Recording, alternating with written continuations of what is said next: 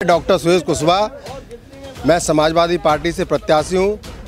मैं अपील करता हूँ जनता से, समर्थ जनता से, कि मुझे चार तारीख को साइकिल चुनाव चिन्ह पर एक एक बहुमूल वोट बढ़कर विजयी बनाएँ और संपूर्ण जनता से मुझे सब मेरी समाज मेरे साथ है, सातों समाज मेरे साथ है और उनसे निवेदन करता हूँ, मैं विकास हमेशा कराता रहूँगा और मैं कंधा से कंधा मिलाकर सारी जनता के साथ मैं रहूँगा, सभी वर्ग के साथ रहूँगा।